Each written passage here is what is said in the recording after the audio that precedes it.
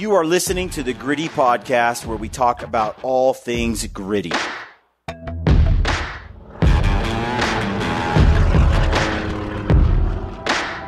All right, folks, welcome to the Gritty Podcast. I am your host, Brian Call. I've got Brad Hunt here, the co host of the show, and uh, our- today's guest, uh, Beau Baty with uh, Wilderness Ridge Llamas. Yep.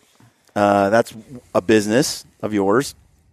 And I think you're the de facto llama packing expert in the world. Would you say that's fair? I don't know if that's fair, but I definitely have probably put, you know, in the last, the 21st century, Mm-hmm. have traveled the most, put the most time and effort into it, and also had the most failures, you know? and I tried to learn from them, and it's brought us to where we are today. Yeah. And people are like, wait a second, why are you still redesigning the saddles? Like, why are you still searching for llama genetics? Like, why are you, Mm-hmm. why do your gear and equipment change? And like, how come you're saying this now and you used to say this? Is like, because we learn.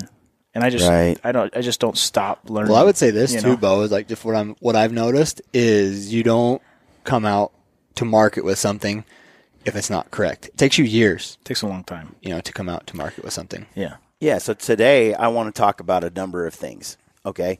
Why llamas? And what's the difference between them and other pack animals? Because I've packed with mules, I've packed with uh, horses, I've packed with uh, even uh, Goats. mount uh, yeah goats pack goats i had goats for years um, and i now ha- i have used llamas so i want to get into that discussion like why why llamas why not something else what are the virtues what are the uh, the what's the downside to llamas Yeah. Kind of get into that. Uh, that's the first thing i want to cover.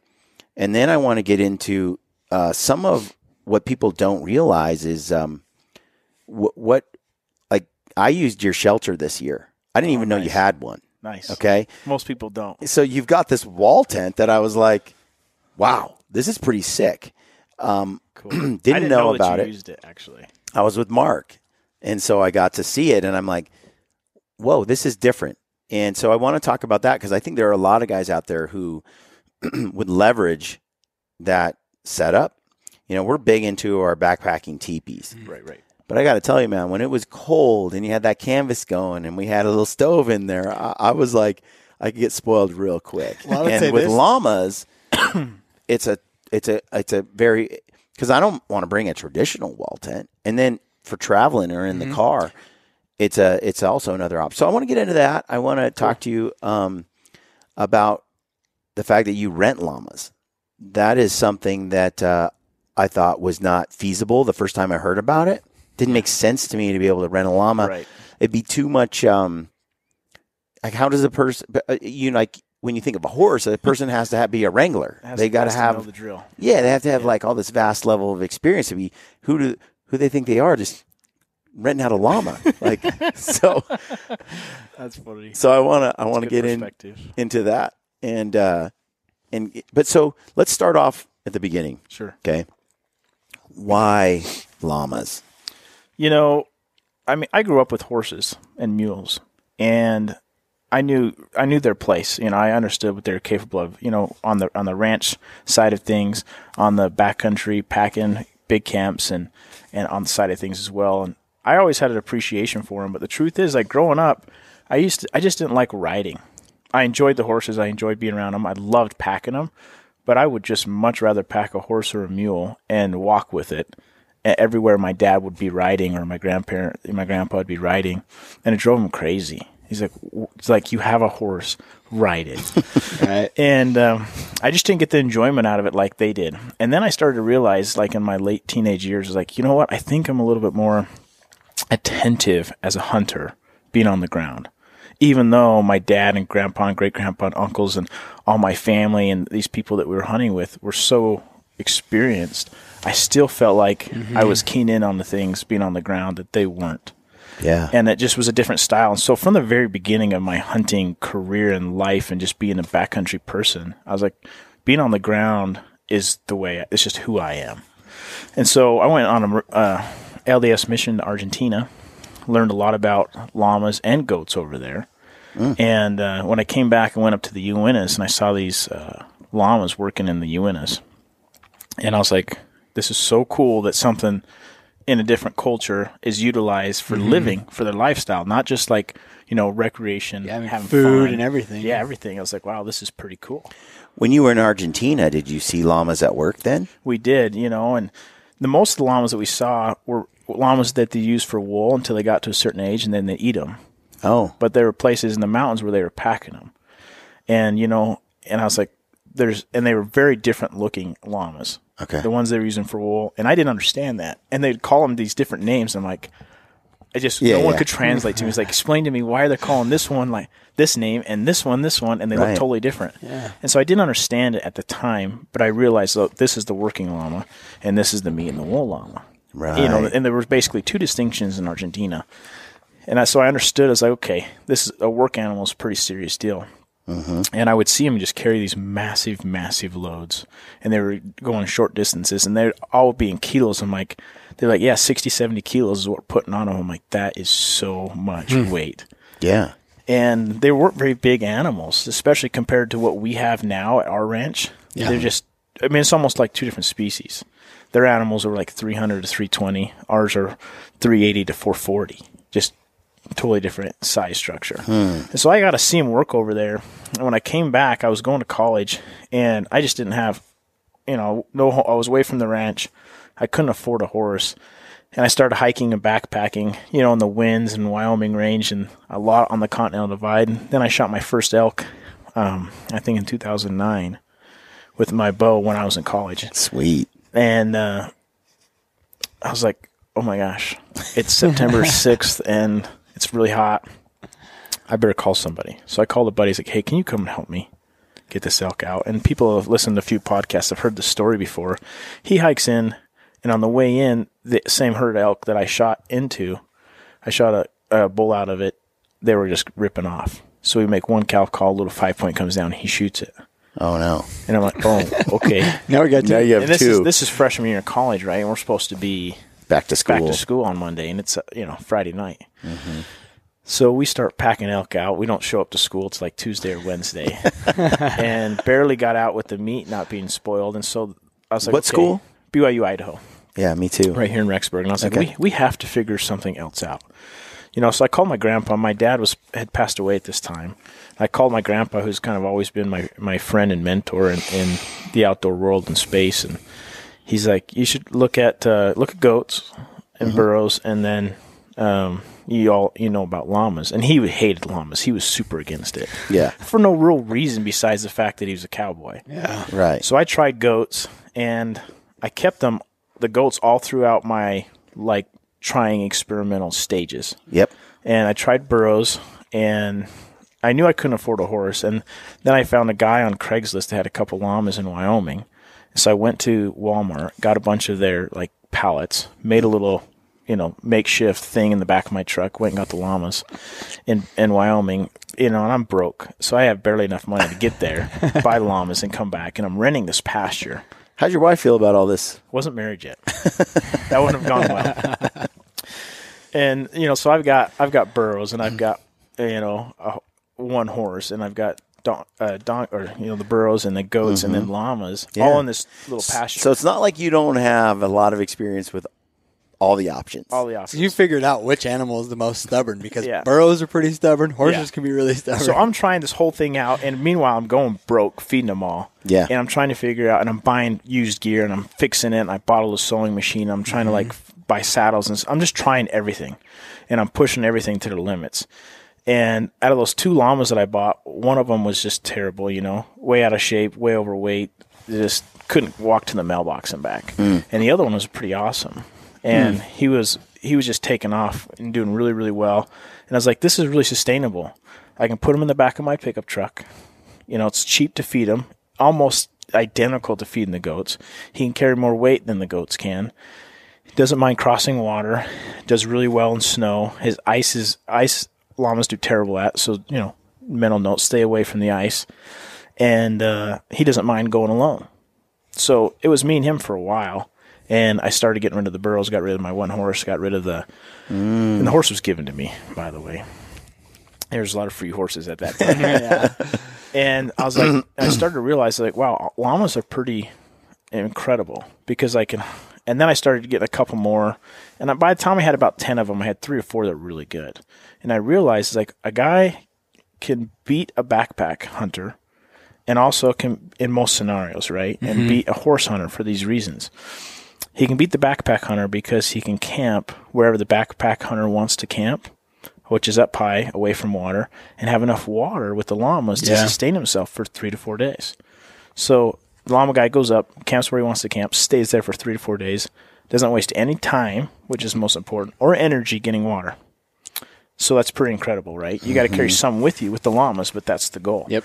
Carry light, have a backpack mentality. And so what you're saying, what you're saying is there's no water accessible at the top of this hunting Ridge. spot, ridge, whatever. Something, yeah. Um, there's no water up there. No so water. in order to hunt the area, you have to pack water there. Yep. So a backpack hunter has to haul Up and down. Up ton of water up there, or they have to drop in elevation to grab water and go Every back day. up. Yep. Yep. Uh huh. Yep. And so I was like, wait a second. So I can save So the llama can carry enough water for three or four days for you and itself. Right. Yeah, one llama. And if you got two, That's impressive. So if you decided like, okay, I'm going to try to get five days. I got a five day hunt. I'm going to take two llamas and put all your water on two llamas, mm-hmm. and then put your camp and your food on your back. And then when you come out, you just put all your game meat on the llamas. And this is a pretty. This is kind of like ideal scenario that I did for a long time. So me and mm-hmm. two llamas go in. They've got nine gallons of water per llama, 18 gallons of water. And so for basically for five days, the llamas have all the food and water they need. I have all the food and water I need. And I can not only camp up high and not have to worry about water waste of time, but I can progressive camp. Meaning if the elk, I busted them up and made a mistake, someone else Yeah. did, or they moved, like, okay, see ya. And it doesn't matter my next camp. That could be anywhere. Right. And I can just go because I got five days of all And, the and you I still got your llamas to pack out. And I got my llamas to pack out. yeah. So I realized is like horse guys can't do that, right? Mm-hmm. And uh, the thing that drove me crazy about the horses, and they're amazing, right?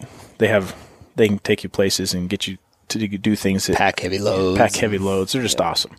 But what you have to do is you have to spend way more time with the horses. You're hunting less, even if you are camped where you're hunting. You're still hunting less because of the maintenance that the horses. Well, and here's I would say too, like because we used to do long trips with horses and stuff. I grew up around horses. All you was you same. When you come back to camp, doesn't matter if it's early in the day or late in the day. Yeah. Your horses still need to be turned out to feed, hobbled or whatever. Water every day for your horses, and a horse drinks a lot of water. a lot of water. And so it's like you're cutting into your sleep, which on some of these backcountry hunts is critical. Right. You know, and so you're cutting into that sleep because you have to go feed the horses the llamas. Five minutes, feed some pellets, you're done. Yeah, they're just so different in are. that regard. And I realized it's like, you know, I want to spend more time hunting and less time messing around the camp. And some Mm-hmm. people love it. And I do like taking care of the llamas. But even even if you don't have llamas and you're doing it all on your back, you still have more time to hunt Mm-hmm. by having llamas than if you do just backpacking. And that just comes down to, you know, they're them allowing you to save time filtering water. If that's Mm-hmm. if you know, because if you're smart and you're really doing it the right way, you shouldn't have to worry about water for 5 days. And there's sometimes where you go with Mark, you know, Livesey, for Yeah. example, and he's got five llamas and they're chock full of food and beers or something, you know, Oh. camp gear, and there's no water, so you got to worry about water. Yeah. again. and uh, just joking, but uh, so that's I realized they're just a really efficient way, and then I realized I loved hunting with them. They were a great companion. They were quiet. They were stealthy. They saw animals before I did, and they just had this, you know, this awareness in the backcountry that I, I A, protection. a protection that I became very fond of. And when predators were close or nearby, they would do alarm call most of the time, which you guys have seen, I think, on some Oh, of your yeah. videos. And I was like, man, these these animals are just for me. Especially when the grizz is out. There's When a the certain grizz. comfort that comes from the llama being there. Yeah. Like Yes. huge. huge comfort. And you know, sometimes horses will do a pretty good job of that. And then I realized after like three or four years of packing llamas, like, wait a second, I haven't had a rodeo. No llamas rolled over on you haven't me. been kicked. haven't been kicked. Haven't broke my leg. You know, all these things that happened to me my whole life up to that point, working with horses, both on in the arenas and on the you know out in the range riding cowboy, and then also in the backcountry. I was like, this is this is nice. My awareness is of like situational issues has gone way down. Stress is so Stress. Stress has gone down. and I'm and I go to and I didn't realize it until I started teaching people how to pack with llamas, and they were horse people. And they're uh-huh. and they're like walking around the back of the llamas, getting all weird, you know, like they're gonna get kicked or stepped on. I'm like, oh my gosh, like mm-hmm. that for me has gone away. Right. but these people still have it because they work with the horses and so and it's good to have that you know in your mind but i just they're so different. And i think each one of them has their place but for the backcountry hunter that isn't comfortable with horses doesn't want to spend the time with them and that can actually just come and rent the llamas and take them out. Doesn't have to actually own them or the family that wants to have livestock for the kids for 4-h and then also recreational packing. I don't think you can beat llamas Yeah. you know? And then the lifespan's so long. Uh, I'll tell you, sort of my evolution was, you know, growing up with horses, doing a lot of elk hunts on horseback over the years, hunting on horseback, um, packing elk out, deer out of like Hell's Canyon Yeah. on horseback. it's tough. And the, uh, you know, the horses were a job. They were almost like a full time gig to take care of the horses, make sure they had the water, t- high line them. Just leaving them in camp all day was a problem. Um, you had to get back and make sure they they were getting their feed and their water. They were also big, and it seemed like, um, you know, I didn't. I, got to a point where I wanted to hunt more and not not take care of horses, and it felt like horses were just that. If you like horses and you love riding horses, then a big part of I learned of of the hunting was just an excuse to ride your horse. was just and It- my, my dad's that cowboy he wants Yeah. to kill something but he he loves hanging out with his horses mm. every day Yeah, and I think if them you're wired that way, then then then it's really almost more about the horse adventure than the hunt adventure. yeah But I'm not. I, I'm I'm like you. I like being on the ground. I like backpacking for the reason of being fully independent, nothing but to worry about except my what's on my back and to go. yeah So after hunting with horses for a long time, I decided, uh, man, I just want, I just want to walk around. So for me, it was the one mule. Just get the one mule, and I go in with the one mule. But the mules don't like being by themselves, not No. very much and so I'd get a mule that worked pretty good by itself. But still, be getting left at camp. You know, sometimes he'd hee haw while I'm like on They're the so hill. loud. Yeah, Yeah. and you're I'm just, like, please shut up Well, there's and, elk we, right over and there we've had elk bugle to a mule, you Yeah. know, baying or whatever. So I'm just like, okay, so then it's two mules, and I don't need two mules. I like one. They can carry 250 pounds, Yeah. 200 pounds. So, but we would kind of just walk in. But then it was still okay. I gotta highline them. I gotta or hobble them. I gotta get it. You know, I gotta make sure they got the food, the water. Yeah. it's a lot of work. it's a lot of work And uh, but I started doing that, and that was kind of cool. Um, then it evolved into pack goats, and I I got just goats at first, and pretty soon I I realized like out of six or seven goats, I had three pretty amazing goats. yeah The other ones were junk. yeah Like I just want to shoot them and leave them in the mountain. uh, we almost did a couple of times. Like they didn't like to cross the water. yeah that always drove me crazy too i'm like what is it with the water goats Yeah, and I'd have three goats who didn't care; they just do it. But the ones that didn't want to, it was like uh, it was a it was a rodeo. They couldn't carry very much weight, and they had to be in really good shape to really perform at a decent level. So it means I had to hike with them all the time. had to get them ready and they were handy because, dude, I just dropped my tailgate, said hop in. They were like five dogs yeah and they hop right in. I had some hay back there, or straw. They they roll in. I shut the tailgate. I go. They jump out. I throw saddles on them. I didn't have to tether them, string them together. We would hike the Eagle Caps. Oh nice We get up there pretty high. They could go anywhere we went pretty much, but they're carrying 20, 25 pounds each. Not very much weight, if that. And then um, packing out, they, you know, it was once you loaded, a deer was fine, but you get an elk, it was like, I, I need to make still multiple trips. Yeah. Like five goats is like a guy, two guys of weight, you know, carrying weight. And, you know, it helps, but it, it, it had its issues. And Uh, they they were kind of easy keepers, although they everything they could get their. So I was, was going to ask you about your goats. Were they, if you're glassing, are they in your face, like chewing on your ear and your clothes? Uh, they were they would just follow me around like dogs, and uh, uh, there was they they pretty much we would go to bed. I wouldn't tie them up. Um, I tie one up because they wouldn't leave that one. Yeah. Tie one up, and then the rest were free to go wherever I want.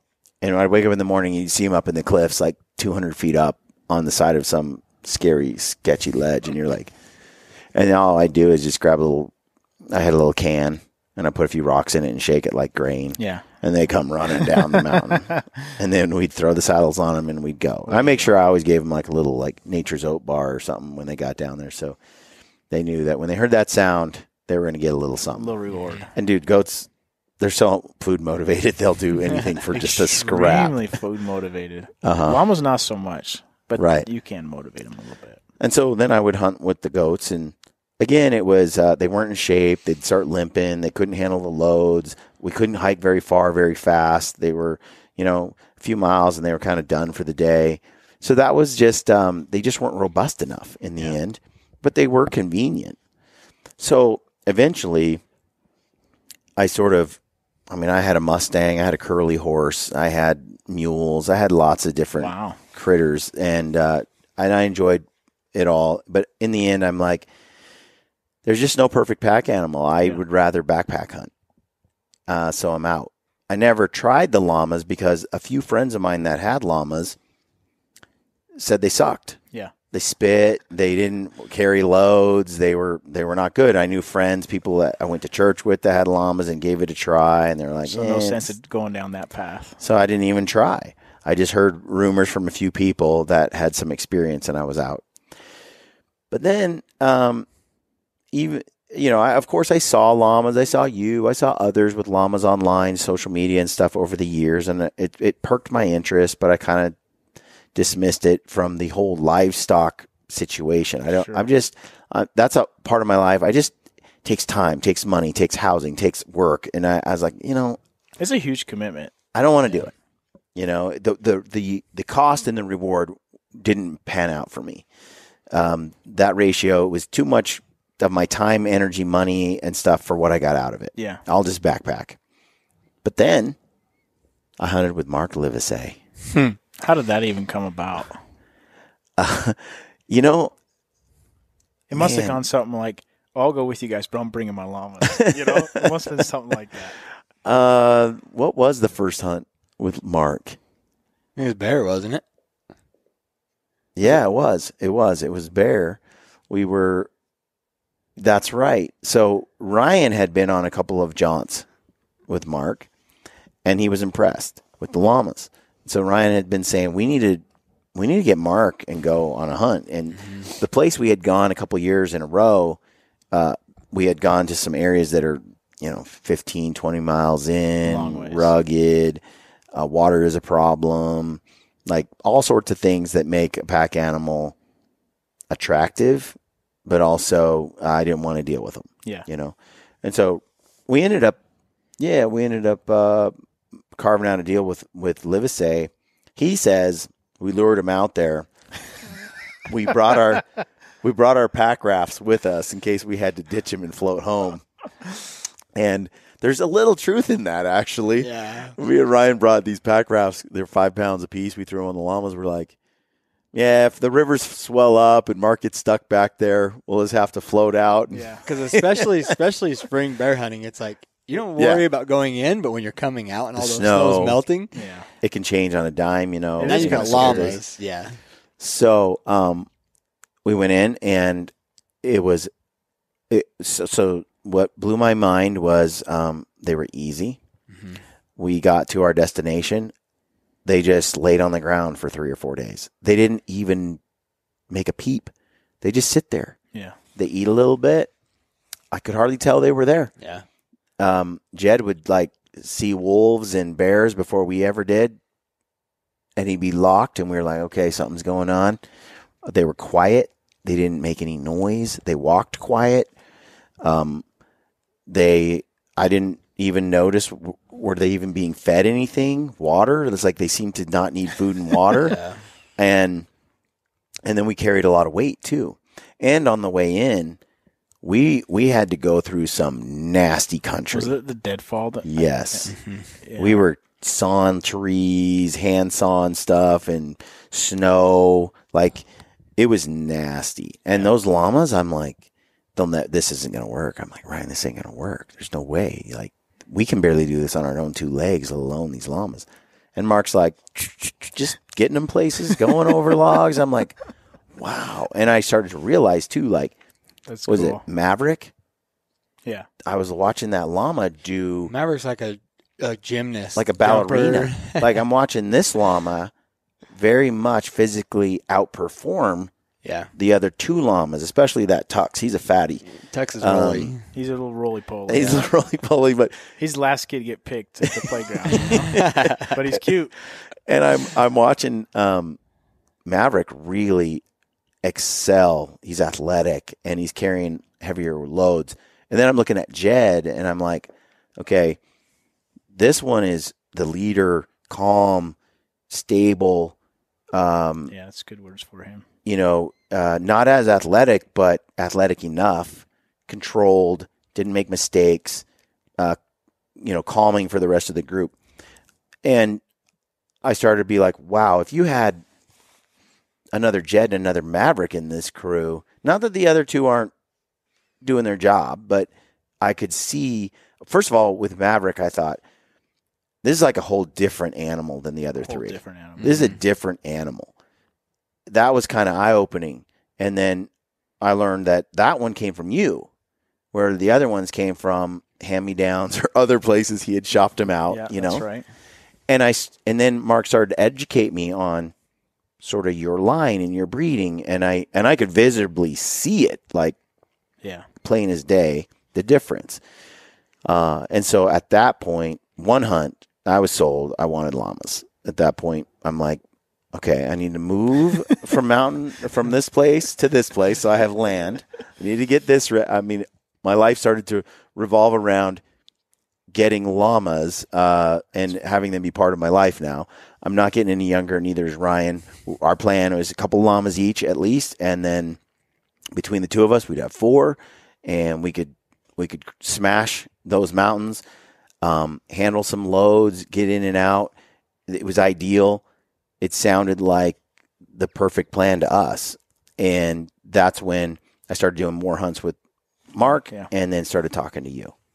So that's kind of my evolution. I'm still new, but now it's been another year and a half or so. And You've done probably what three or four more. Yeah, hunts so I've. I've actually done a lot of hunts now with Mark. Like Mark and I went on our bear hunt together, just him and I. The first one was mule deer, Ryan and, and Mark and I. That was my. I've been around llamas a little bit, but I've never hunted with them. I've never packed with them. sure.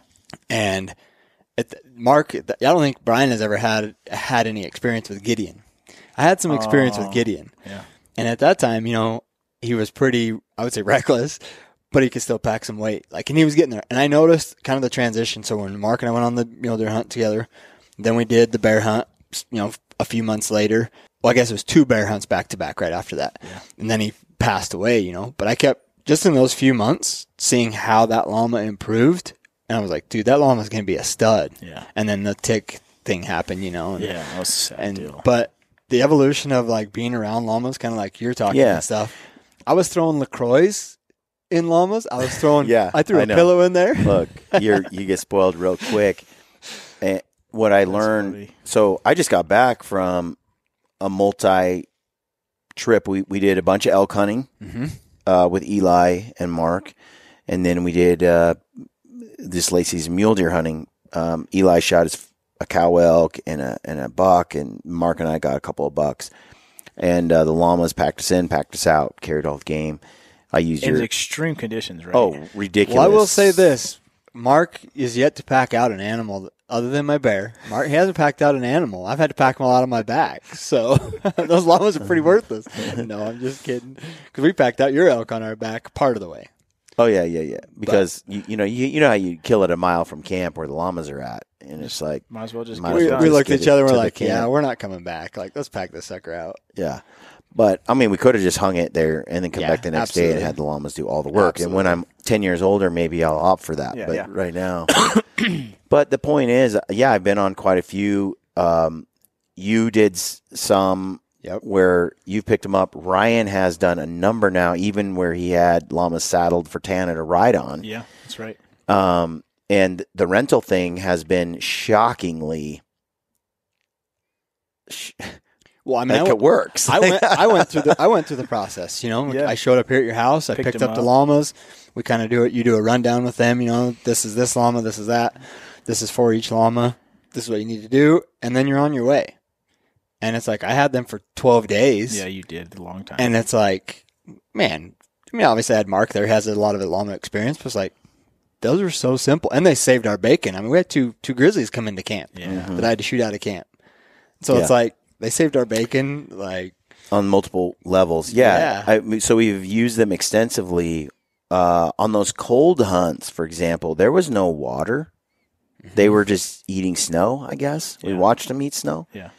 Uh, Mark was worried. I think it was five, four or five days that they did not have water, and um, they were eating snow. Which I don't think this is ideal, but they did it, and they seemed to be fine. We got to the vehicle, and uh, we even pulled into town, got a little hotel, and Mark's trailer is really suited for four, Yeah. but he had five. And so he he said, you know, he felt like they needed to lay down, and and so he didn't want to leave them in the trailer. So we just tied two of them to the side of the trailer on a sidewalk in town, and they just stood there on the sidewalk. I mean, there's a lot of snow, but he put out some hay, and they just all laid down right there. We came back the next day, nobody stole them; they were still there. We're like, cool. I got these random texts from people all over Montana for like two weeks as you guys are traveling about, stopping at random like gas stations and hotels and like you know cul-de-sacs and like, hey, are you in Montana? I was like, nope, it's not me. And by the third, like the third occasion where you guys stopped at one little town, like Yeah. at night or something, Yep. I get a friend of mine. He's like, dude. There's llamas right next to the uh, fire station, like camped out for the night. Uh, Is that you? Why didn't you let me know you were in town? I was like, I'm in Colorado. This is not me. Go take a picture of him. So he takes a picture. I'm like, oh, that's Mark. And I call Mark. Hey, Mark, um, put a sign that says "I am not Beau Baty" on your truck because I keep getting these random weird phone calls. Oh yeah, I mean, I was with him on all those. Uh, we were sleeping in the truck overnight a few times, um, Yep. just between hunts, and again, the maintenance was so low and so minimal, and the llamas uh, did great, and they actually figured out how to lay down all five of them in the trailer. in the trailer, and uh, so toward the end, we needed to stop for the night, and Mark was really stressed about where we might Pitch them. pitch them to get them out Yeah. because his trailer's not really suited for that many. But then he peeked in and they were all laying down. So he's like, "Oh, okay." So we we left them in there that night and didn't have to get him out. But typically, he doesn't have to deal with that. He can just park in a parking lot. Yeah. They'll lay down inside the trailer. He's good, um, and he can carry on. Well, I would say this too, and you you probably have experience. Same with you is, you know, you can't put a twenty foot tether rope, stake it to the ground on with most horses. You're going Oh, no. have a freaking wreck. Like they get it around their leg or whatever. Most I horses will will freak out, and it's like you put the stake in the ground, you have the twenty foot rope, you put the llamas down, Way you go. and you're gone. Like you don't worry about it. They get tangled in a tree, they'll stand there, they'll lay down. You come back a day later, Yeah. take put it, It is out. really nice. I mean, mm-hmm. and I like. To Oh, it look- can't be understated. Yeah. It's No. more than really nice. It's the it's the key. It's Yes. nice. And yeah, when you like, you know, you drive to these places and you're like, oh my gosh, we got snowed in or we got snowed out or this road's Mm-hmm. closed. And you start to do a lot of that. Is the more you hunt Mm-hmm. in the fall and the later you go into season, you're running into stuff that is just out of your control. Yeah. It goes Mm-hmm. from 40 degrees and raining to the next day negative whatever. And you're like, wow. And uh, it can be really tough to have other livestock, but the llamas seem to do a lot better in those variable conditions, Mm-hmm. staying in the trailer for a night if they need to. You know, like they just Mm-hmm. They don't get the stomach issues, and ah, they just it just is a different game when you run into all those different scenarios.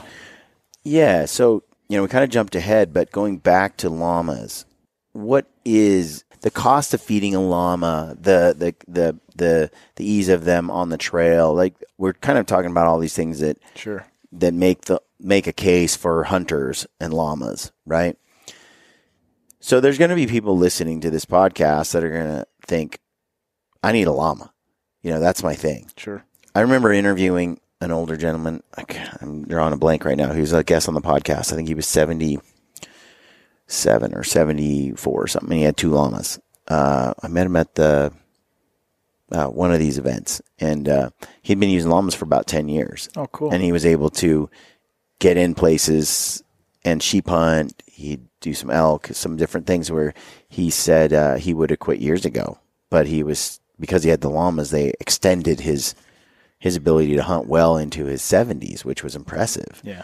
And I was looking at the guy going, "How? Like you're getting old." Yeah. And then he that same year he went out and he did like a sheep hunt. And he killed a sheep and he loaded it into his llamas and brought him back down. It was like his fifth sheep or something. And I'm like, That's crazy. dang man, that's impressive. So, um, yeah, tell tell me a little more about llamas and tell me why Maverick uh, was different than these other llamas that Mark had, and maybe shed some light for the listener on why you know m- m- my experience. Everyone had told me llamas suck. You know, Yeah. why why did I why didn't their llamas perform like, Maverick? Like Maverick. Maverick? You know, I think you can look at horses as a whole, llamas and goats, and you can say, well, the species in general has this downfall one, two, and three. Yeah. Mm. And they have these highlights one, two, and three. And that's definitely true. But llamas carried a bad reputation for a long time because people didn't understand them. They were so misunderstood. They, there was like basically a 20 year period, you could say, where every llama in everybody's mind was a pack llama. Llamas were only used for one purpose, and that was mm-hmm. packing. And all the llamas that they were using weren't good at their job. So therefore, llamas are not good for packing. Yep. And what it was is llama, people didn't realize that llamas, just like goats, horses, humans, we're all bred different. Mm-hmm. Mm-hmm. And, And you evolve. and we evolve. Like there's race horses, and then there's Yep. cold blood draft horses built for work, Yep. right? And then there's Arabians and there's Mustangs, and then there's horses that are used in the rodeo circuit that are bred specifically Yep, for being really fast, really and agile, right? And so it's like, well, can you take a full draft horse 20 miles into the Frank Church with X amount of weight and do really well year in year out? Probably not. Yeah. Right. Right. Right. And so people were expecting llamas that weren't bred to be pack llamas to be pack llamas. And they carried a really bad reputation. And the, the saddest thing I think that happened is that the, the big time users of horses and outfitters, they're like, oh, this llama idea, and this, we're talking 80s and 90s, right? Right. It's brilliant. This could really, really work well for me. The concept of it, mm-hmm. and they were pretty open minded to it, and they tried it out.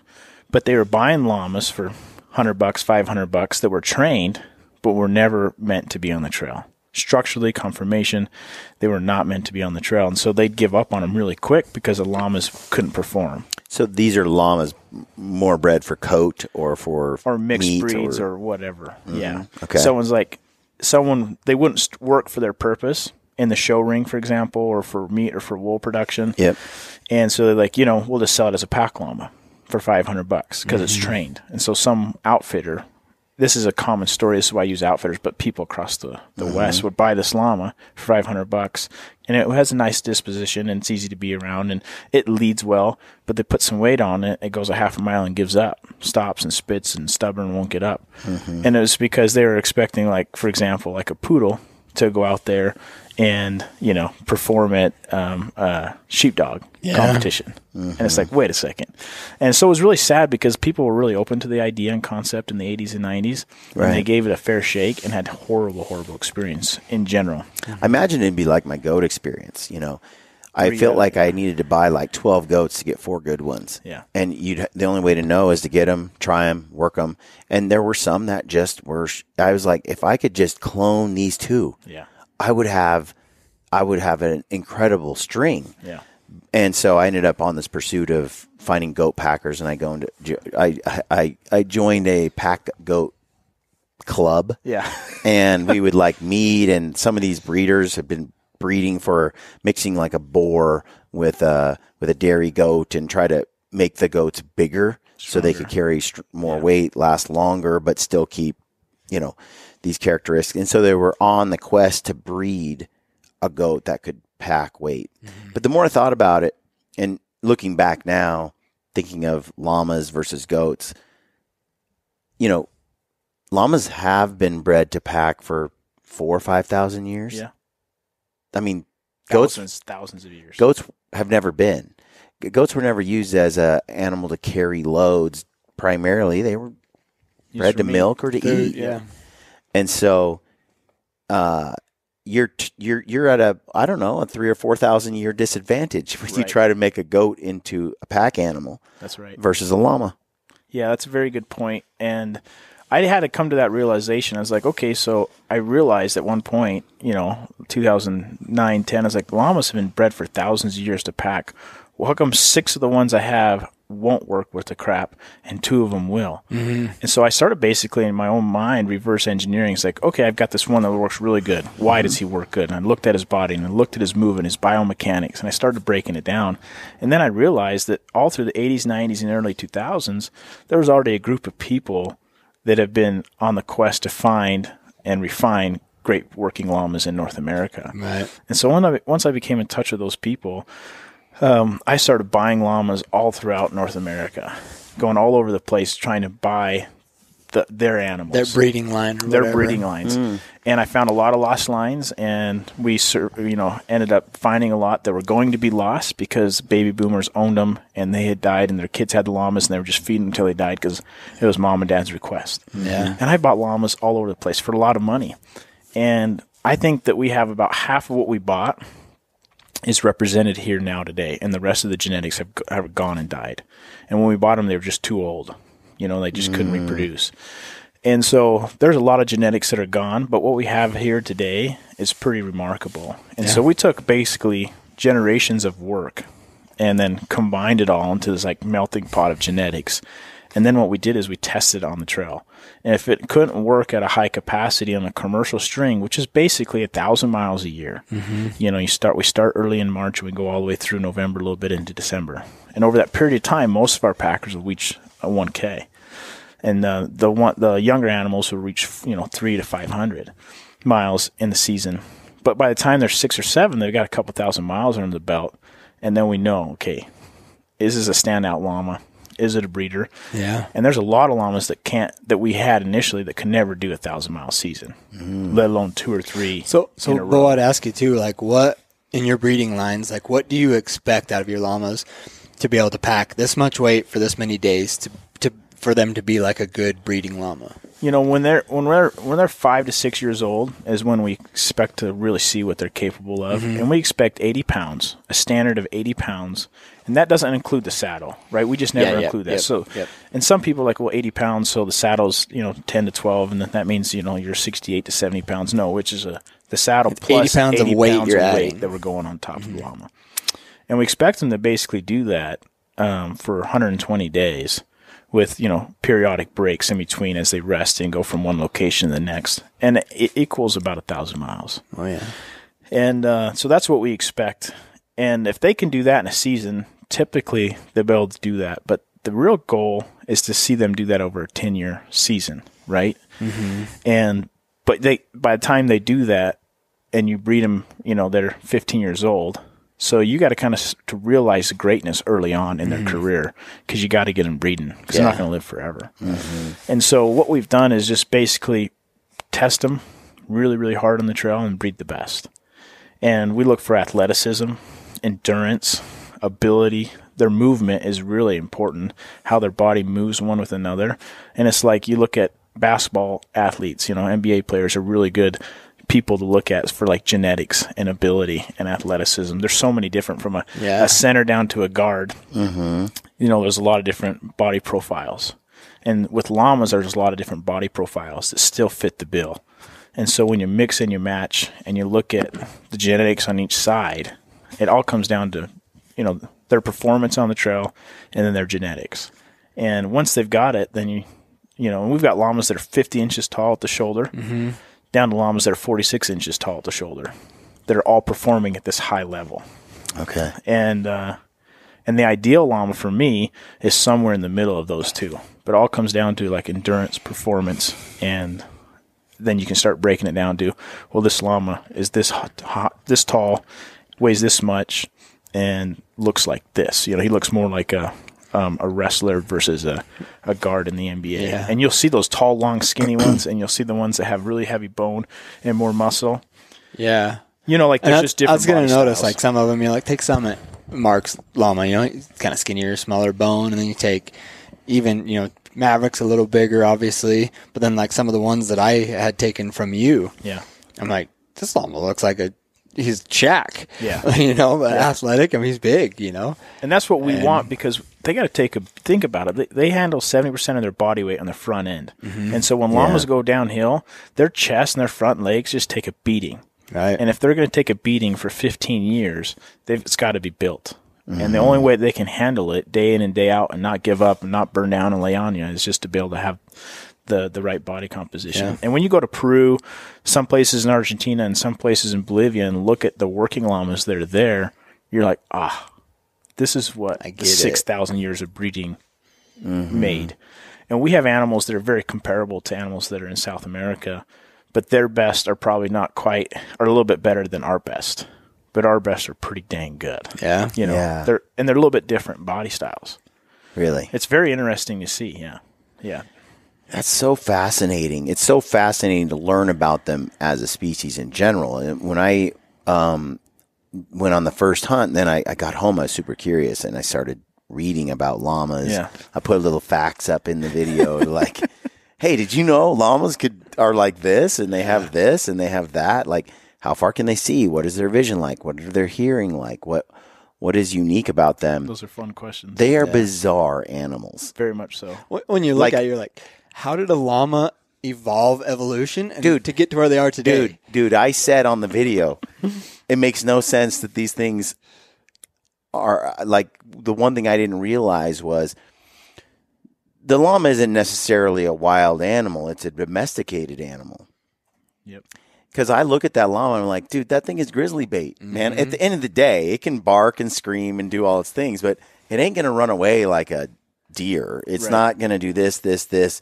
You know, it's got its. Um, I, I was sitting there going, all these years, and this is what evolution came up with. Like it just was a little bit. So I was like, there's something I'm missing.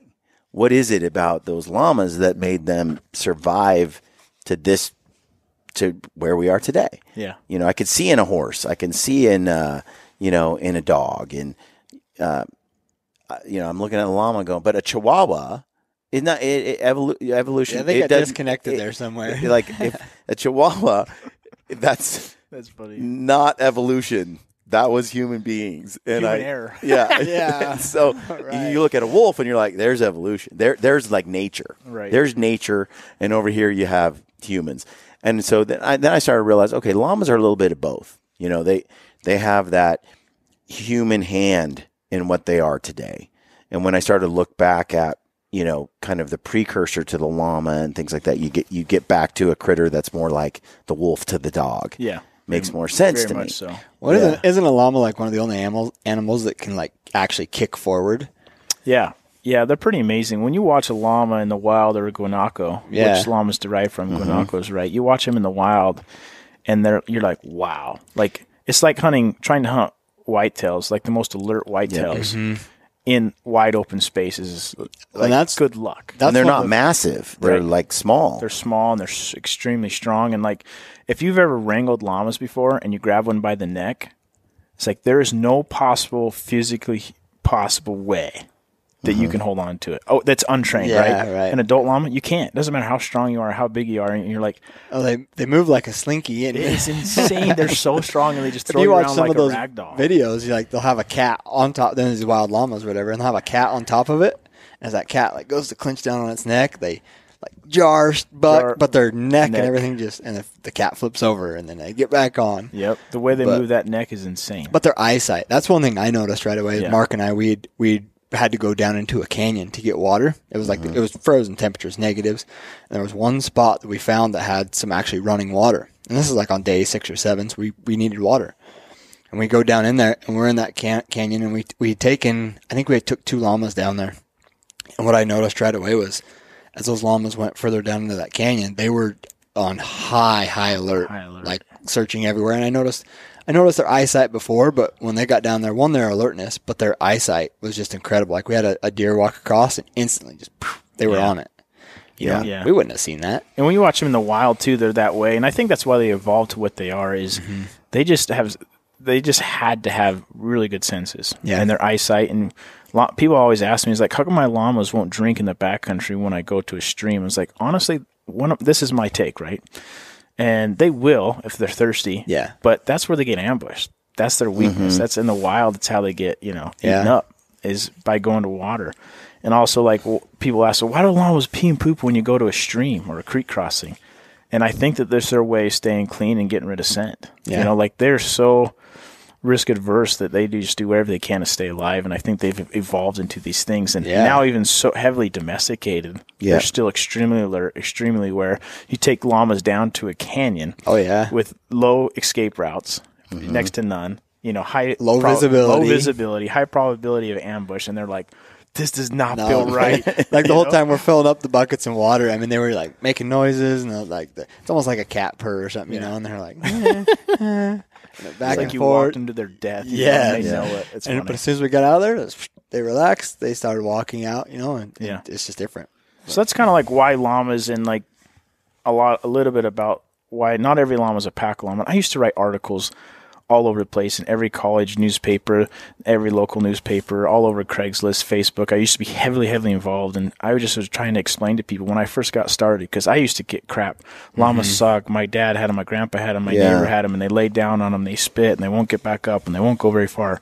And I was like, man, I have to. I have to retrain people's minds and get rid of this this idea that you know every Yeah. llama's a pack llama and pack llamas suck.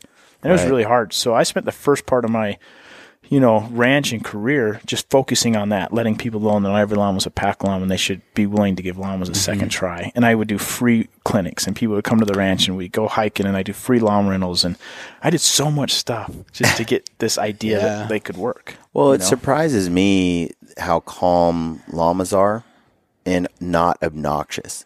Every animal I've ever taken with me places has been obnoxious.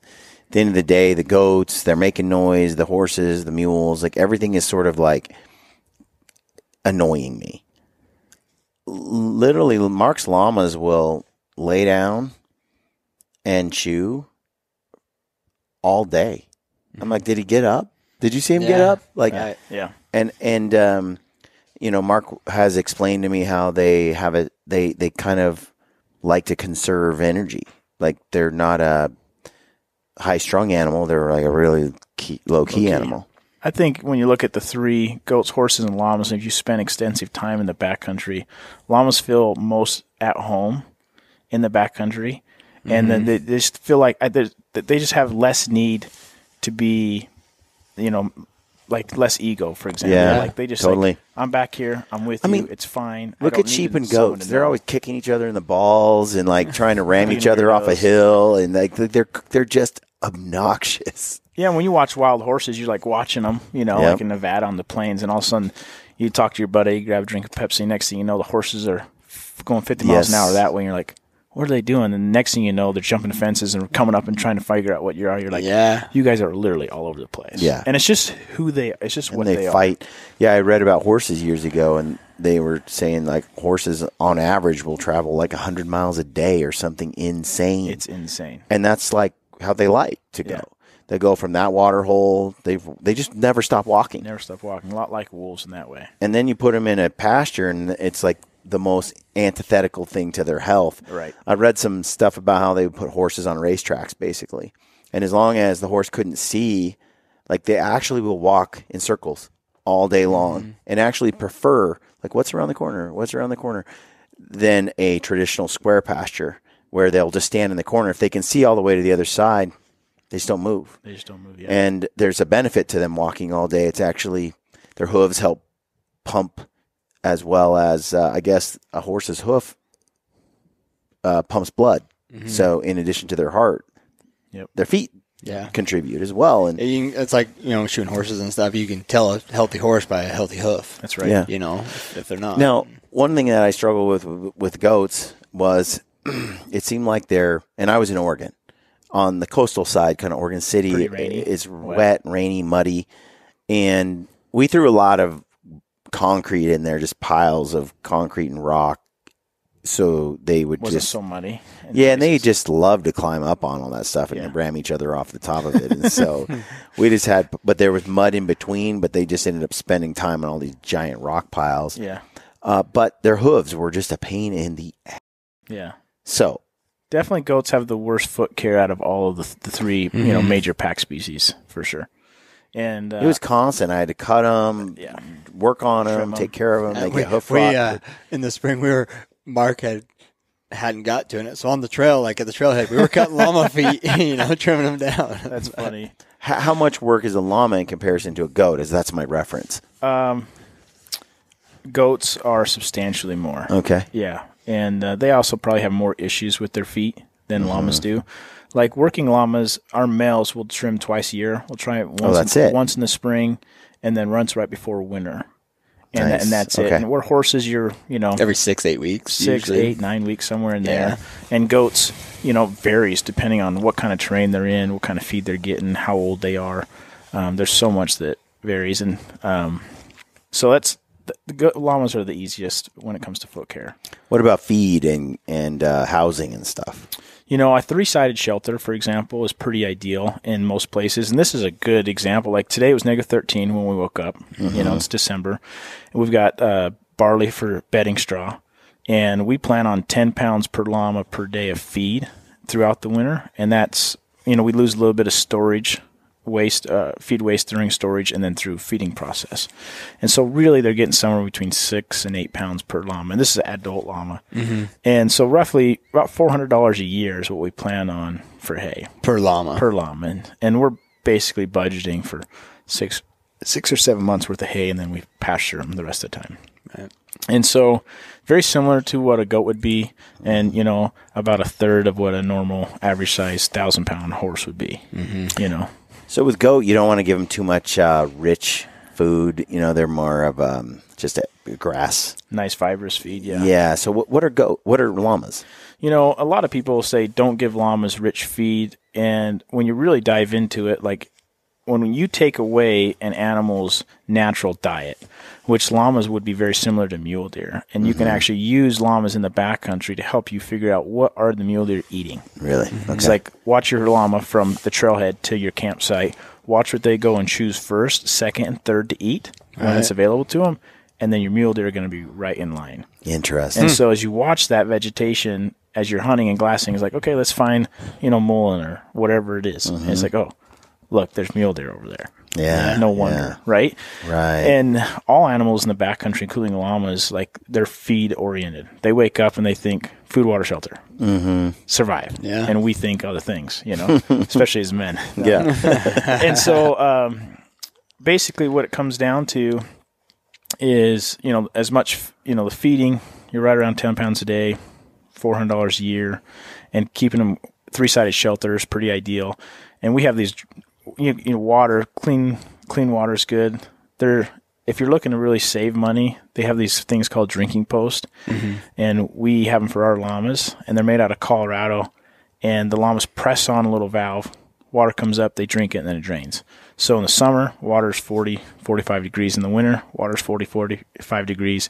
You don't have to clean them birds aren't taking baths. There's no Yeah. parasites. There's no mm-hmm. algae. And so it's just really effective way Okay. to do it and so once you're set up with the llamas three sided shelter a good fence and i tell people it's like llamas are way easier to keep in than goats and horses and the thing is, is as long as they have food, they're not going to pressure a fence. Yeah. And you could have a 40 inch fence and be just fine. Mm. Right now, I've got a 40 acre pasture that we hurried and fence. We got a really nice fence post in, but we didn't have enough money to pay for the wire. Mm. And I had this old smooth strand wire. I got three strands, and they're about this far apart. Yeah. Could llamas go through that? Oh yeah, Absolutely, super super yeah. easy. Have they? Not in four months, you know. and there's just no need. They just don't press the fences like goats and horses. Now, Right. are your are your some of those fences are they hot fences? You know, because like a horse, you can keep a horse in with a single strand hot fence. Mm-hmm. Yeah, you know? and I, if you said hey, this is my goal, I'm gonna keep my llamas in with a single strand hot fence. It's like don't do it. Yeah. But if you have to use a hot fence because you're not ready yet, do a three strand and do ribbon. Don't do wire. yeah, right, right. and then you'll be just fine. Right. And whether that's on or not, it is probably going to keep them in. Mm-hmm. Right. You know, and it's Right. it's the barrier more than it is the hot fence. Yeah, it's like most horses. You take one strand and they hit it once when it's hot, and then you turn it off, and they're they're not going to hit it again. Yeah, they don't forget. How much space do they need? You know, it it all depends. Like if you're going to feed them year round on kind of like a dry lot situation where there's not really any pasture, you know, two to three llamas per acre on a dry lot is is good. You're feeding hay year round, you know. But if you're trying to if you have irrigated ground here, like in the in the western corridor, Montana, Colorado, Wyoming, Idaho, if you have irrigated ground, you can usually get four to five llamas per acre um, Okay. on pasture, and they, they could do really well on it. And so it all kind of depends, you know, on Yeah. your situation. I mean, people we have people that own llamas in South Dakota and North Dakota and other places, and, and the forage is so different over there. Let's talk about the temperatures. Um, you know, we were in you know zero degree temps with the llamas for days, Yeah. and I was like, I mean, I wanted to be inside a shelter. they just laid there and got snowed on. Yeah. Um, what can they take? Like, what's you know, if they're working like that and you're keeping f- either processing feed, I think it's one of the most important things. Llamas can handle extreme cold temperatures, but they also have to be processing feed, you know, and Yeah. so their Yeah. stomach, the ruminant will keep them warm as long as they're It's processing like feed. cattle. You got to through the cold, you up the Yep. feed amount. You know, Yep. or hot, hot, more Or hot even feed. deer, I mean, yeah, yeah. anything. And, and so they got to be on their feet. Like, well, mule deer act different in negative 27 than they do when it's zero. Yeah. Yeah. They have to stay moving. They got to keep their bellies going. And same with the llamas. So llamas do, if you said, what do they do better in hot or cold? Definitely, I would say the cold. And once you get into 90s, you know, and you're working them hard on exposed s- slopes to the sun, it's like that's going to be really rough for them yeah? and they're going to need to stay hydrated and get them in the shade and cool them down for the breaks. And so when it comes to llamas, Spring bear was the that was our challenge was the heat. Um, the cold this year didn't seem to bother him much. So what you're saying is llamas are exactly like Ryan Lampers. The heat crushes them. Yeah, the heat will crush them, and you just have to be smart. Like if you're in the summer, it's July and it's 95, and you drive over to you know Sun Valley, and you start hiking at noon, and you've got three miles of no shade. it's gonna be Yeah. rough for Yeah. everybody. And Right. so I just tell people like treat them like an eight year old kid. Like if you're gonna have your kid out there. And they're going to be beating them down the sun, and it's like just think of that. Yeah. Shade up, water. Yeah, and you're and it's cold. Oh, I got an eight year old kid, and it's freezing cold. How do I need to take care of my kid? So, you know, and that's just a really good like rule of thumb. Yeah, So when I've been with Mark in these later seasons, and there's, uh, you know, we're abandoning uh, abandoning these uh, guys at camp while we spike out and hunt all day. Mark comes back. He's got these pellets that he gives them. What's that about? basically, it's just kind of like us. Like when you go into the backcountry and you're you're breaking down your food. Okay, we're trying to stay light, have enough nutrition, but a lot of times you miss some of the you know the vitamins and minerals that your body needs. And so after like a ten day hunt, all of us come out of the backcountry and have one thing on our mind, yeah. like I want. X Milkshake. milkshake, Hamburger greasy fries. burger. You're like, your you, your mind goes to where your body needs it to go. Yeah. And so when the llamas are back there, think about they work this trip, next trip, next trip, next trip. And so when they start working in the spring for llamas like Mark has and I have, they're always going. And so the the pellets that we give them basically replace what they're not getting um, in the field that they need at home. And so just make sure they're getting all the vitamins, all the minerals that they need, and then gives them a, a, a protein supplement and a little extra fat. And so it just helps them day in and day out on a 120 day to 150 day season have the right nutrients to keep going and working. So one thing I want to ask Beau is, you know, because we ran into this situation last spring, and it was actually pretty detrimental to one of Mark's llamas. So we didn't know this. I didn't know this at all. Um, say, say you're starting a spring hunt, you have llamas. What are your precautions that you take as far as tick preparedness, getting them ready for the hunts in the spring to kind of continue on through the summer? Yeah. What do you kind of do? Yeah, so in the spring they're ready to start losing their undercoat. So most the best breeds of, of working llamas are called Cara llamas, and it basically translates to without wool, and they're dual coat. So they have undercoat, and then they have a guard hair. And so in the spring, if it's April or on, I'm like, okay, they can do without their undercoat for the most part. So I'll start to brush that out. Oh yeah. Right, brush that coat out, get rid of the burrs so they don't get saddle sores. I'll make sure their feet are trimmed and ready to go. Make sure they've got the yearly vaccinations, which is about a six dollar shot per llama. Do it uh, twice a year typically, and then I'll bring in fly spray for them and give them a shot of Ivomec because around here the spring's heavy, heavy ticks. Yeah. Mm-hmm. So the Ivomec helps the, llama, the llamas for when they do get ticks on them. They usually don't attach or stay on for very long. And so for like people, because like I said, I didn't know. I didn't know how susceptible llamas are and how bad of a reaction they can have to ticks, especially Yeah. a lot of ticks. it's like this is like well mule deer and elk are also very susceptible but if they lay down somewhere they and it's tick infested they'll fill them and they'll be able to move or go somewhere else well mm-hmm. llamas when you get to camp you're there for let's say five days Yeah. and you don't know because they're not communicating hey brian hey mark Right. i got ticks everywhere bro Yeah. you know and so what you'll do is And I have sat down with lampers like on a rock pile, you know, overlooking a, a ridge for for bears or something, and I will literally have hundreds of ticks descend on us, Yeah. you know. And one time on Ryan, I picked he put his hood on, and I had a Ziploc bag, no way and I just picked off. I didn't know how many we'd collect.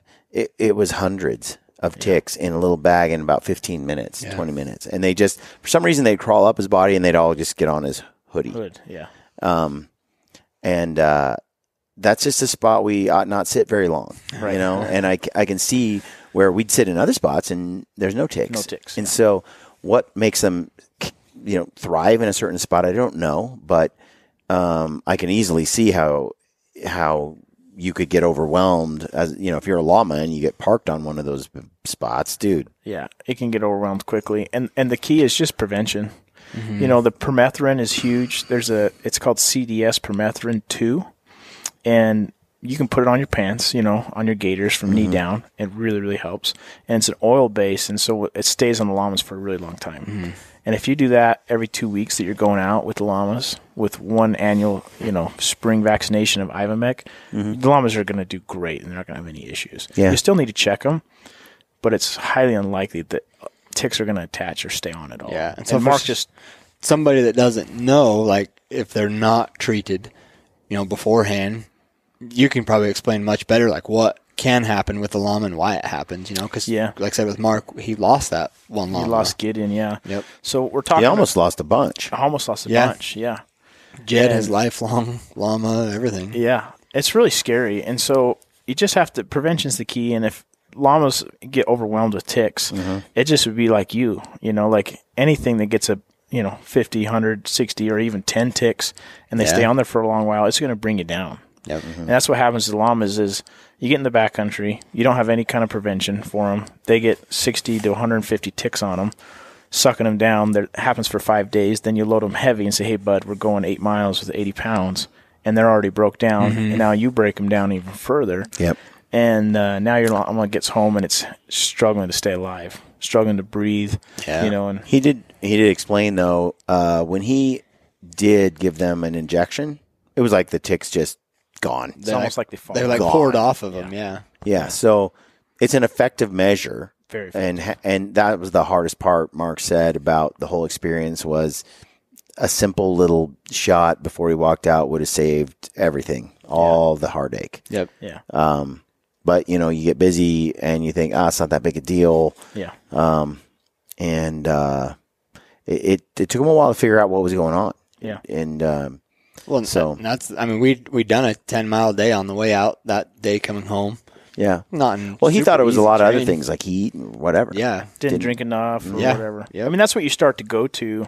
And my instinct now over the years is like, oh, it's spring. And Mark called me. I'm like, check for ticks. He's like, there's no way. I'm like, just please just do this two things and to all of them real quick and then check for ticks after that. Because Yeah. if you don't do this and they do have it, we're in big trouble.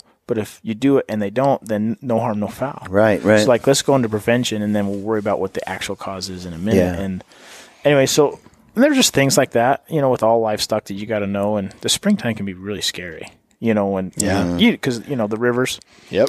deadfall, you know, slides. I had a slide a couple times come down. Yep. We hike in, then we get back. It's like, how are we getting home? bears. Like, know? the, the springtime is a lot more challenging than I think people realize. Super mm-hmm. challenging. And so a lot of guys, it's it's warmer. It's only getting warmer generally by the day. Yeah. Yeah. But it comes with all sorts of And we've seen it. You know. like, you can cross a river, go shoot a bear, and you come back, and in half a day, that river can be up a foot, Yeah. and it's thirty feet wide. dude. Ryan and I Like- went in one time. We crossed a river. It was like knee deep, and it was sketchy. When we came back, it was over your head, flowing like like a, you know, like Niagara Falls. Yeah. Um, we had to we had to blow up rafts. There's no wading across; you die. Uh, and if and then with the rafts, you had to hit the mouth of the, you know, you had to cross down where it ri- hit the big river, the runoff, and then if you didn't get through that runoff and you hit the big river, you were going down a slot canyon of death of Oh sheer gosh. like concrete like walls and and uh, waterfalls and and you're dead. So you got to make the pull out, you know. And it was, I was like, like you think in the winter times when it's dangerous, but the spring has all kinds of uh, challenges. challenges and and the and the tick issue is really only I have only experienced that really through June. After that, even July and August has been pretty mild. I've seen with ticks, Yep. but but by the time you hit the winter, you know, by the time you hit late August, I hardly ever have a tick issues, and then into September, October, November, it's it's really a spring issue. It's springtime for sure. Yeah, and that's there's actually a, couple businesses over the years that I ran into that rent llamas, and like they thought told me I was crazy. You rent llamas in the spring? It's like, oh yeah, you just got to do this, and they they're like, you're crazy. I'm like, well, I want to be out in the spring. The llamas want to get out in the Yeah. spring. There's all these It's one of my favorite. just times. like a new grass- time of life. Yeah, yeah, yeah. It's know? like no, we're going, and this is what this is how we're going to manage it. Well, I want to get into that. I want to do another podcast with you. Um, I would like to know, kind of, let's say a guy, two things. A guy sitting here and he's like, I want a llama. I think I might want to buy one. I think I might want to own one. Um, um, what What's your kind of step by step advice for that? Yeah. And uh, the second one is, look, I'd love to own one, I just can't, but I want to use them. What's this rental thing all about? And I want to get into that because I'd like to hear kind of. Um, I want you to allay the fears of uh, of a guy, a couple buddies who who want to rent and are a little like unsure of of such a thing. And the third thing I want to touch on is um, the system that you have for backpacking in terms of um, your llamas and your shelters, um, the sort of uh, method for feeding, taking care of them, kind of kind of goes along with the rental thing, Yeah, and um, and get into that. So I want to add one thing, like for the why, you know, llamas. 'cause That's kind of what we focus on Yep. is like why llamas.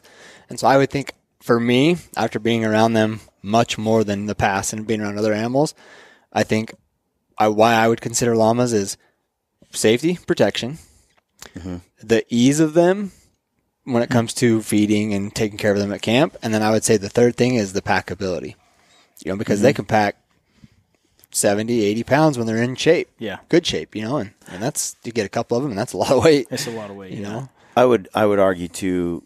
Yeah, I would say that they can go almost Yeah. anywhere. Mhm.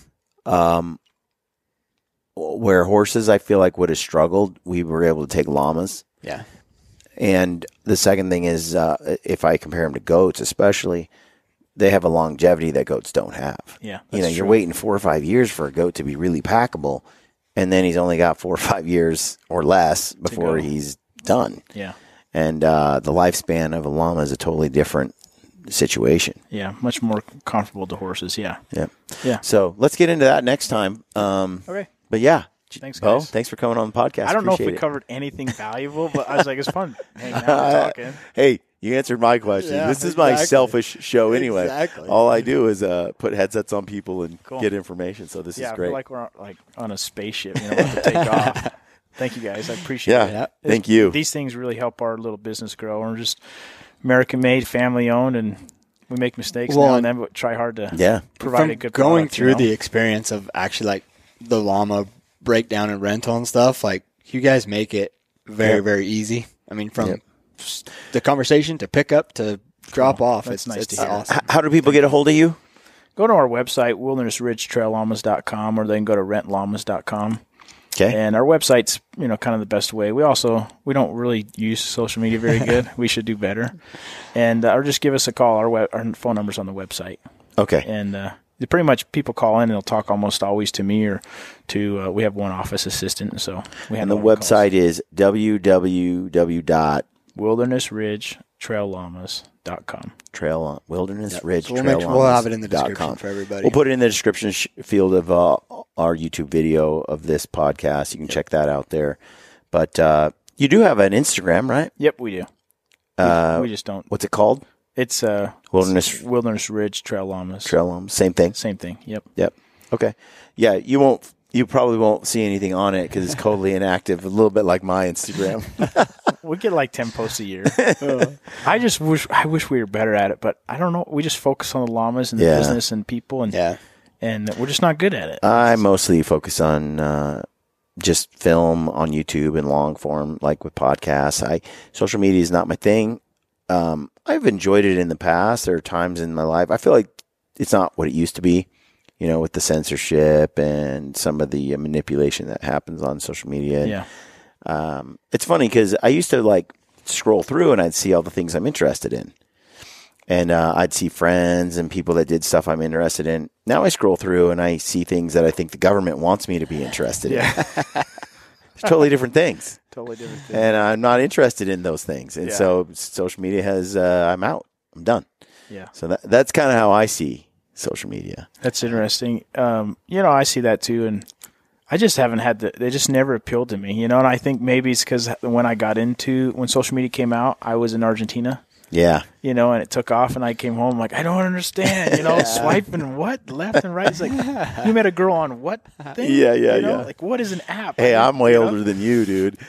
Uh, when I was in, I was in Japan on a mission. Oh wow. and I was there in 94 and 95. I mean, Al Gore hadn't even invented the internet yet. so uh, I think 96, a friend of mine, uh, someone came into the field and said, Oh, yeah, I sent my first email. I'm like, What's email? They're like, It's like this electronic message. I was writing on paper and putting it in an envelope with a stamp The stamp. yeah. to send letters home j- from Japan. Um, there was no internet, email, anything like that. So I feel like Beau and I are close to the same age, maybe. How, Yeah. how old are you, Beau? Thirty-five. 35. So I, I just turned 34. Okay. So we're, we are. We're pretty close. Yeah. Yeah, pretty amazing how things change, you know. And uh, I remember when I got my first cell phone, I'm like, wait a second. I was around when you could afford the first cell phones. I know. Nokia's. I'm like, it makes me feel old, but also makes me realize, you know, in, in 15 years, the world has changed dramatically. So and I can't keep up. And I'm like, you know what? I'll just let social media be where it's at. yeah, And I'm just going to take my family and live this kind of 21st century grassroots country boy way. 'cause Yeah. that's all I, that's how I I'm comfortable in that realm. I'm with you. Yeah. Well, I think it's healthier for the human soul. I know. think it's healthier.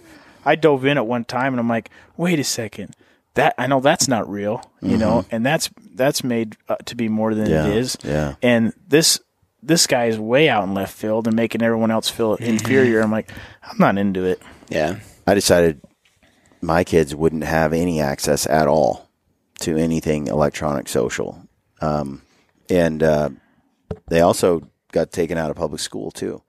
So I, I've really gone Yeah. full um, back to old school, and my kids learn from books and they watch DVDs. Uh, they don't stream stuff, and it's funny as they've gone back and consumed content, you know, for entertainment purposes. Everything they're kind of soaking up is like 80s and 90s type sitcoms. Um, uh, and Friends. sometimes even older than that, you know Yeah.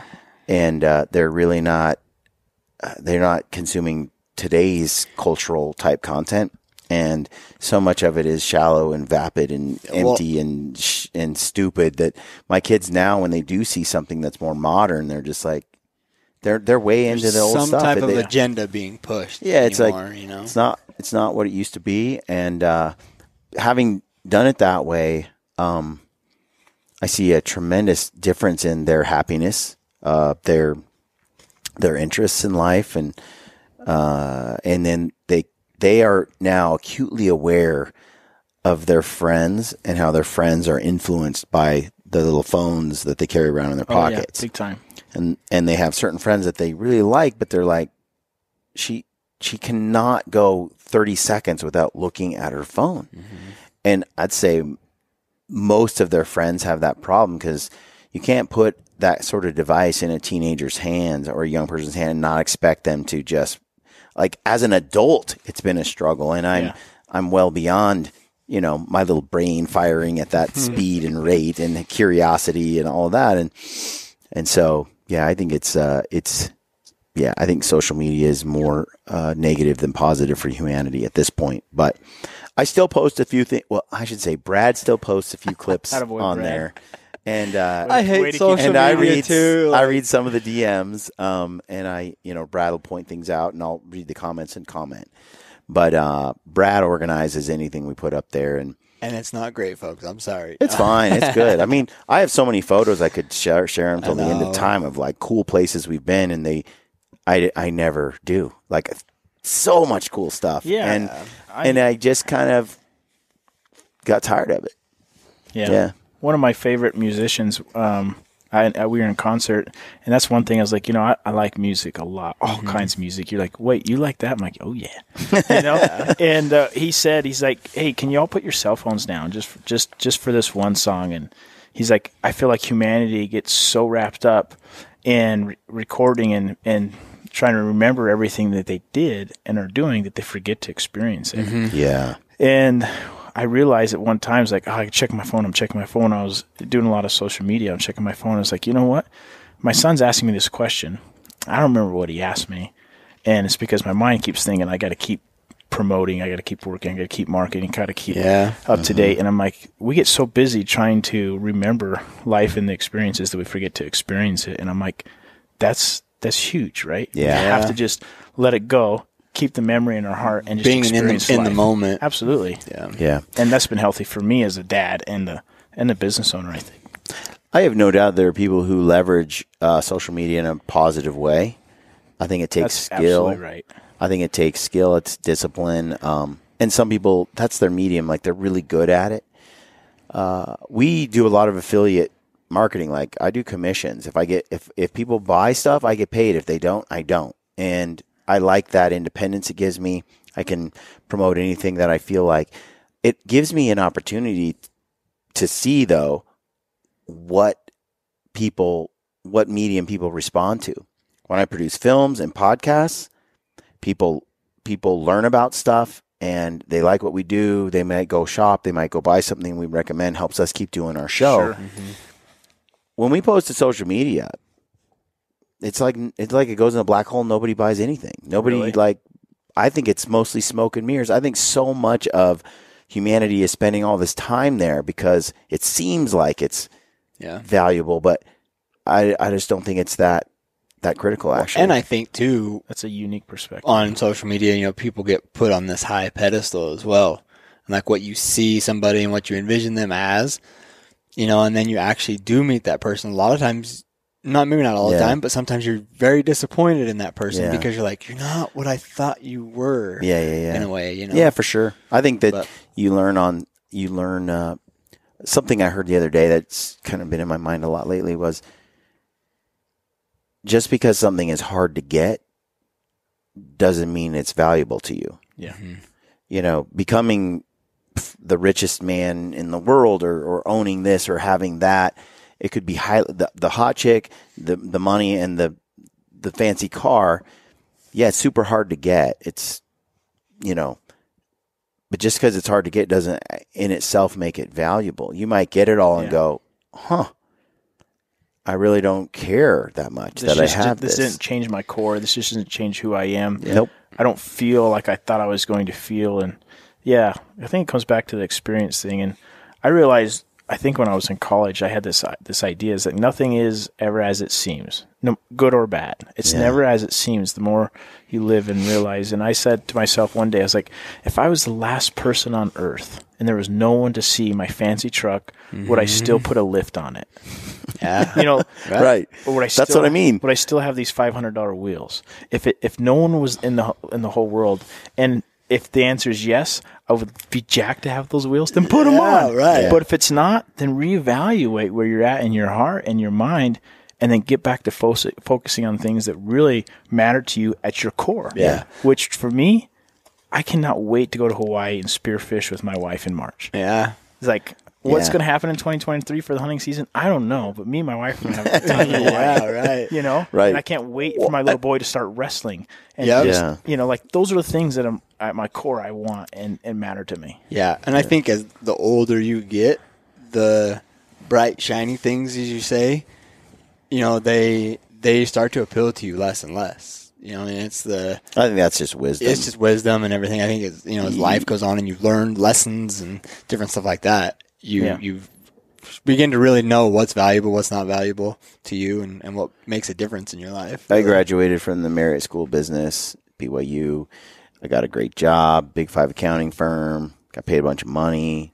I, I remember we had like a stipend, fifty dollars a day for what for food, no way and I'm like, $50 I didn't even spend seven dollars at Taco Bell. Mm-hmm. Now it's fifty bucks a day. I'm like, where do we go? And if you don't spend it, you don't get it, right? Oh, wow. So it's like every day was just fancy this and fancy that. Um, and then you had your hotel, which was super fancy, and then they'd fly you out to the the job Wow. uh, Sunday night. You know, you're there Monday through Friday. You go home Friday. You're home for the weekend. You do it again, and so you're you're in, and you're sitting down in meetings with people like the CEO at Nike, and I'm talking to him about audits we're performing, and I'm in that world. And at first, right out of college, I, I was kind of, I, I kind of wanted, I thought it was super cool. Yeah. Way into it. Like, wow, this is, this is neat.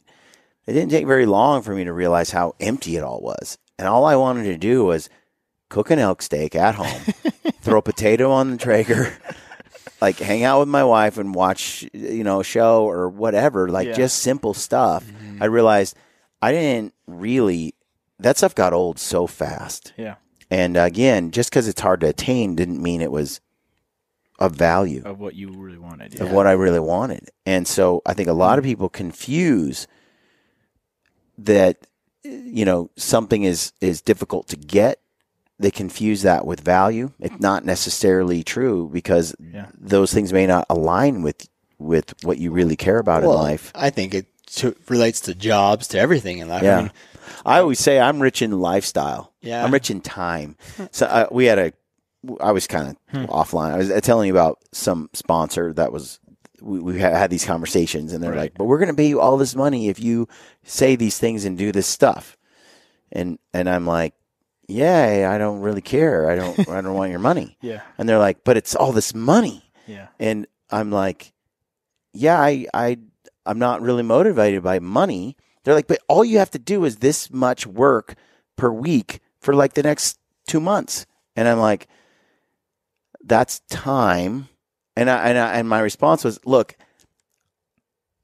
that's too much of my time because I'm rich in time. Mm-hmm. I've built my life to be rich in time. I get to go hunt for six weeks in a row yeah and then come home for a month and then go hunt for another six weeks in a row. Like I'm rich in time. I have time, time, time, time, time. I'm not really rich in money, and I'm okay with that. But that has allowed me to to uh, when I am approached and someone says we're going to pay you a whole bunch of money, I don't look at it in terms of dollar bills. I look at it in terms of time being taken away. Because at the end of the day, when you look at life, time was the most important thing we had. it is It wasn't the money. And so I think we all got it backwards. Instead of selling your your time in a certain way for what it's worth and how you're going to spend your life, we we trade that for vast amounts of money for comfort and wealth and status, which really doesn't actually give us the thing we want, which is generally more time. I remember Tim Ferriss wrote Yeah. the book uh, Four Hour Work Week, and he's sitting there talking to some guy uh, he does this analogy. The story he's in like Puerto Rico or something. I don't know, South America, and he's down there. This rich guy, and he's fishing, and he's fishing with this guy, this this local, and they spend all day on this boat, and they catch all these cool fish off the ocean and the Gulf, and then they flow back in, and they're at the house, and they're eating. Like they're drink, sipping mai tais on the beach, and you know, and they're hanging out. And the guy goes, "Dude, you have such a sick setup here uh, you know, you're you're only like you're a guide for like two people uh, a month, and that, he's like, dude, if you got more money and you were able to get this boat, and then you got this boat, and you hired these three guys, and you did this thing, you could grow this thing into this big deal, and you could make this much money, and da da da. And the guy that was just the simple, you know, fisherman guy was like, for what? And he's like, well, so that you can fish all day on the beach, hang out, and have a simple life. He's like, well, I already have it. Like, you know, and I think we kind of fall prey to that. Like, if we were just a little more content with uh, the, some simple things that are Yeah. really of value, here he is, this this high powered rich guy saying, "Dude, if you just spent your whole life building, then you could."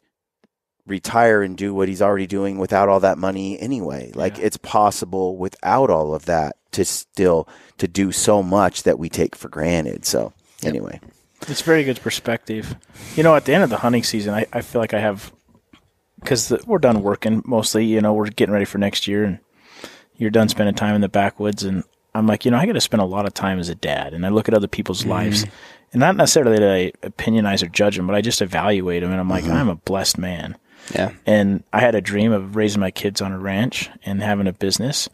And we're doing it. And I'm like, man, just now embrace it because you're living what you dreamt of. And it's actually very, very cool. Yeah. Yeah. Absolutely. And, We- uh, anyway, we were just talking about the same thing uh, with our kids. I'm like, I'm gone for a month or two, but then I'm annoyingly present in my daughter's lives like all day, every day. Yeah. Like when they wake up in the morning, I'm there all day long. I'm having lunch. I'm poking them. I'm hugging them. I'm talking to them, and then through the night and into the evening. And even though I am gone for uh, like September and October, almost the whole time, then I'm back and I'm really present the whole time. And I feel like my wife even says, You're home way more. You feel like you're way more in our lives than you were when you went nine to five. We saw you for two or three hours each Yeah. evening. It, And then that was it. And yeah. So I do think, um, I do think it's important to, eh, to, to structure that life and, you know, try to make it so you are as present as possible. Yeah. Um, Spe- yeah, time. Time. Yeah. This is good. Llamas, llamas to Llamas uh, time. Llamas Yeah. to time in life. That's that right. Cool. Are quite tangent there. Thank you for Yeah. this perspective. Yeah, it's really good. All right, folks. Check out uh, Beau Wilderness Ridge Trail Llamas yeah, dot com should have came up with a better name 12 years ago. and uh, yeah. All right, folks. Thanks for tuning in. Stay gritty.